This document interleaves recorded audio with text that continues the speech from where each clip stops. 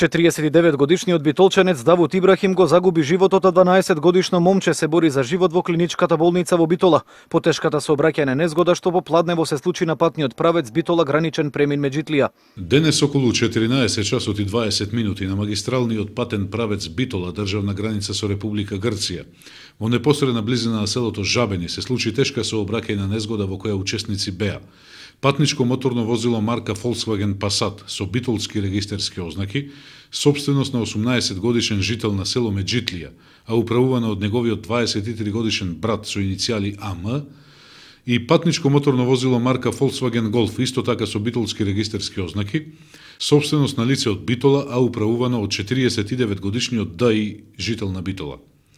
До незгодата дојде кога од засега неутврдени причини. Патничкото моторно возило Голф кое се движело во правец од Битола кон државната граница со Република Грција, кога дошло до критичното место, престигнувајќи минибус со битолски регистерски ознаки, директно се судрило со патничкото моторно возило Пасат, пошто излетало на левата страна од коловозот и се превртело истото.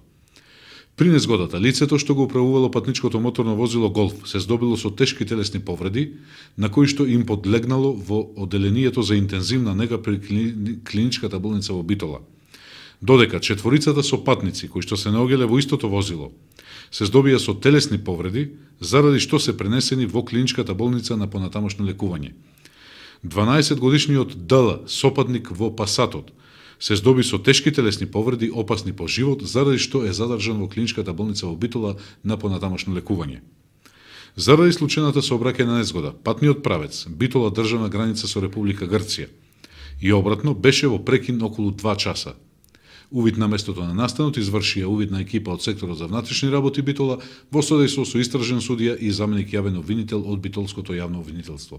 Заради тешката сообраќајна незгода во близина на село Жабени, патниот правец кон државната граница беше затворен до доцна попладнето.